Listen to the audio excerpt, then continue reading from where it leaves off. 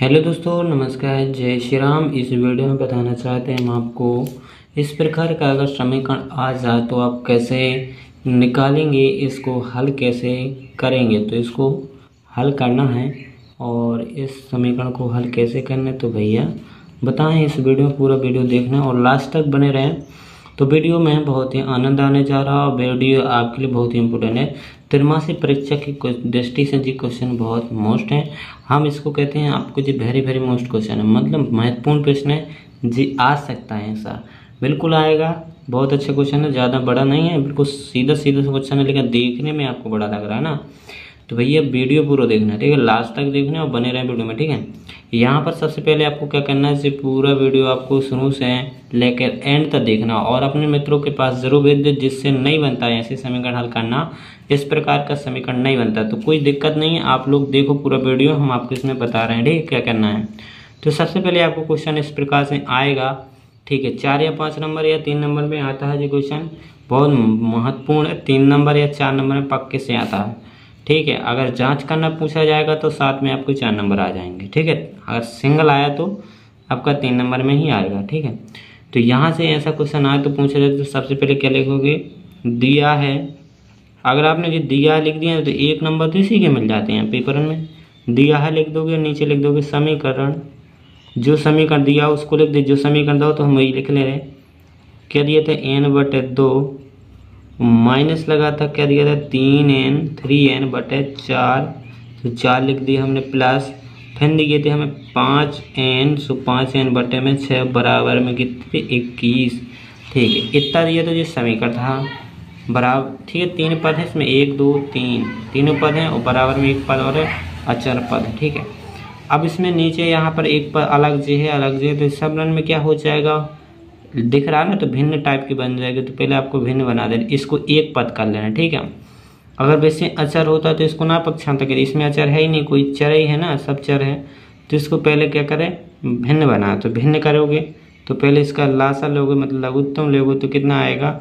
आप लोग लघुत्तम लोगे, लघुत्तम नहीं बनता तो भैया देख लो, कैसे करते हैं? लघुत्तम दो एक कम, दो से काटोगे, दो दो दूना चार दिया छः फिर इसमें दो का भाग जाएगा, एक तो जैन कहते हैं, दो एक कम दो, तीन जैन कहते हैं रहेगा। फिर इस पर तीन का भाग जाएगा, एक जैन कहते हैं, एक जैन कहते हैं तो कितना आ जाएगा? तीन दूना छः छः दूना बारह। बारह आ जाएगा उत्तम, ठीक है? बारह छः दो का भाग इसमें लगाएँगे। बहन ने ऐसे ही करनी होती है, दो का भाग इसमें लगाएँगे। कितनी बार जाएगा? दो छः का बार छः बार जाएगा तो छः का गुणा करेंगे एन में। क्या करेंगे? छः गुणे एन ठीक है, इस प्रकार से। और फिर आपको क्या करना है? और चार का भाग इसमें लगाएँगे, चार तिया तीन बार गया ना तो ये माइनस चाहिए कहते हैं लगे चार तिया बार तीन बार गया तो तीन एन गुणे क्या करेंगे? तीन। क्या करेंगे? तीन गुणे तीन एन प्लस फिर आपको क्या करना है? छः का भाग इसमें देंगे छः दूना बार दो बार गया तो पाँच एन गुणे कितने करेंगे? दो। पाँच एन गुणे दो। और बराबर में क्या लिखेंगे? इक्कीस। लिख दिया। और इसके बाद आपको क्या करना है? इसके बाद इसका गुणा करेंगे छः गुणा एन करेंगे तो क्या आ जाए? छः एकम छः एन आ जाएगा।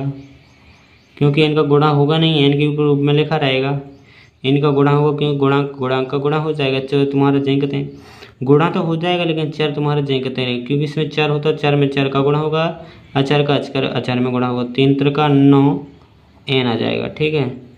और प्लस जय कहते और पाँच दूना, दस इसी प्रकार से इसका प्लस बटे में बारह सही करते हैं और इक्कीस। अब आपको क्या करना है, इसको जोड़ घटा लेने, ठीक है? यहाँ पर दस नौ, दस एन में से नौ एन जाएँगे तो क्या बचेगा? दस एन में से नौ एन जाएँगे तो क्या बचेगा? दस एन में से हैं नौ एन जाए तो क्या बचे आपका एक एन का क्या बचेगा? प्लस का। बच गया, बारह बटे में लिखिए यस इक्कीस बराबर। और छः एन में एक एन जोड़ देंगे कितना हो जाए छः एन में एक एन जोड़ देंगे कितना हो जाए सात एन बटे में बारह बराबर इक्कीस। तुम कहना कि यहाँ पर जुड़ कैसे गया? तो भैया इसका गुणांक क्या होता है? एक। तो छः एन में एक एन जोड़ मतलब एक एन है तो छः एक कितना हो जाएगा सात एन तुम्हारा जेंगत नहीं लिखा रहेगा, बारह बटे में जेंगत है ठीक है? ऐसा जुड़ जाता है। इसका गुणांक कुछ गुणांक ना होता, एक होता है। तो जी जब जोड़ते हैं ना चार राशियाँ ना जब जोड़ते तो चार समान भाव चाहिए घात समान। तो जोड़ चार तुम्हारा जय कतई लिखा रहेगा। चार तुम्हारा जय कतई गुणांक जुड़ गए, क्योंकि इसमें चार समान है, घाते भी समान है। एन एक सा है, और घातें भी एक जैसी हैं तो जी जुड़ जाएँगे घात इसमें कुछ नहीं है तो मतलब एक इसकी है, एक इसकी घात है। तो जी एक सी हैं तो भाई ये जुड़ गए, छः एक कितना हो गया, सात। एन तुम्हारे जय कितना ही रहेगा। ठीक है।